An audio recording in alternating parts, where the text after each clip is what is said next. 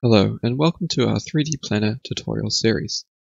In this video, we'll be showing you how to create a new room. When you're ready to begin, click the Create a New Design button in the center of your screen. As you can see, there are quite a few different room shapes to choose from. However, in this tutorial, I'll be using a rectangle shaped room.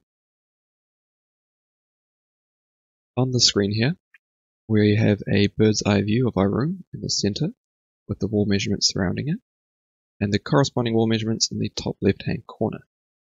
Now, if you'd like to adjust some of these measurements, all you have to do is select the center of the number and input your desired length. If at this point you'd like to go back and choose another room shape, all you need to do is select back and select your desired shape again.